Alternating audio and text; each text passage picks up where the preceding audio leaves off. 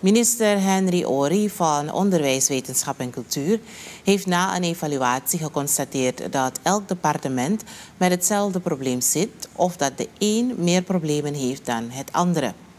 De bewindsman gaf journalisten een uiteenzetting over zijn werkbezoeken aan verschillende departementen van het ministerie. In zijn algemeenheid grote zorgen. Ja.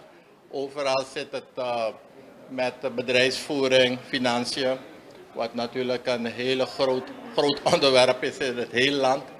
Uh, uh, gedreven mensen moet ik wel zeggen, die wel hard op de juiste plaats hebben. Maar de problemen zijn logistiek, technisch, management. Maar een hele groep problemen spelen zich af rond personele zaken.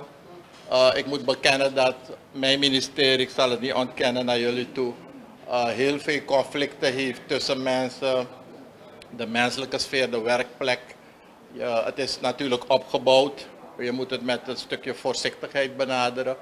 Uh, ja, er zijn mensen onder elkaar samenwerken, is niet onze sterke kant. Maar het zijn dan verwaarloosde zaken die onder huis spelen, die niet uitgesproken moeten worden. Dus aan de directie is er meer een stukje verantwoordelijk. Praten met de mensen. De minister zei verder dat er maatregelen binnen het ministerie zullen veranderen. Beslissingen die vanwege COVID-19 waren vastgesteld, zullen weer worden teruggedraaid, meent Ori. Dat heeft allemaal mee te maken toch dat je gekozen hebt op uh, blijven zitten en halt te roepen. Daar is iets over te zeggen. Maar er is duidelijk een stukje voorlichting nodig naar de samenleving, dat het allemaal meevalt. Wat we beoogden, wat mijn voorganger beoogde. We gaan daar nu ook uh, aan werken om daar een stukje duidelijkheid te maken. Het is misschien verkeerd begrepen in die samenleving, dat moet uitgelegd worden. Uh, we gaan wel proberen bij het nieuwe schooljaar, die kinderen gaan vijf dagen naar school. Dat is echt voor ons het uitgangspunt. Het was ingegeven door COVID. U weet die situatie uh, een paar jaar terug. Het lijkt zo ver, maar het is dichtbij.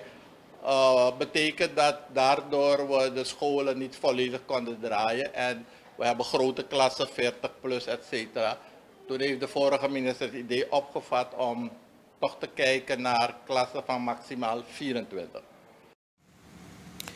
De maatregel dat scholieren elke dag naar school moeten gaan, wordt vanaf het nieuwe schooljaar weer ingevoerd, omdat het voor verwarring zal zorgen indien dit vanaf het derde kwartaal tot een besluit wordt verheven.